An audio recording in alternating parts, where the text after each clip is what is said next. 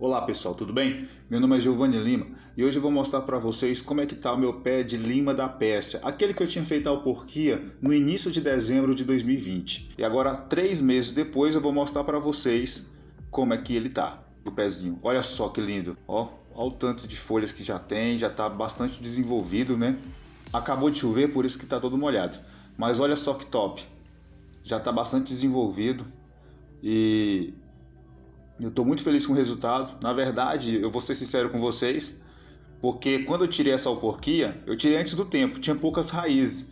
Então eu pensei que não ia vingar muito, mas na verdade, né, com bom cuidado, vai para frente. Então, deu super certo.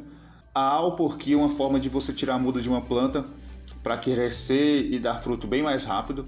E olha só. Então hoje eu vou replantar novamente. Eu vou tirar dessa garrafa PET porque já está pequena para ela essa garrafa PET. E eu vou colocar em outro lugar. Vou mostrar para vocês aqui, na hora que eu tirar da garrafa PET, como é que tá as raízes dela. Vamos lá. Olha aí, as raízes já estão bastante grandes, bem desenvolvidas, né? Você pode ver que está crescendo bastante, já está querendo espaço, né? Já está pedindo mais espaço para que elas possam crescer mais. Então vou colocar em outro vaso e esperar desenvolver mais um pouco. Então olha só, pessoal, que já replantei né? Olha só que como as folhas estão grandes. A lima da peça é uma fruta muito abençoada por Deus que contém vários benefícios, inclusive para quem tem problemas de fígado e problemas nos rins. Entendeu?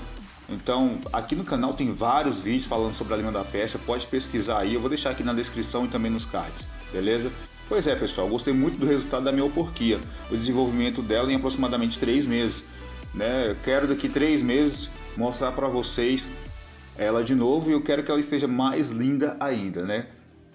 Então, se você tem curiosidade, se você quer saber mais sobre a lima da Pérsia, assista os vídeos aqui no canal. Se você quer aprender a fazer a alporquia, é bem simples. No canal aqui eu mostro para vocês como eu fiz a minha. Então é bem tranquilo, é bem simples, é bem fácil. Eu tenho vídeos também ensinando a tirar a muda de plantas através de estaquia, que é bem fácil. Tem um ensinando a fazer enxertia de abacate vale a pena conferir também.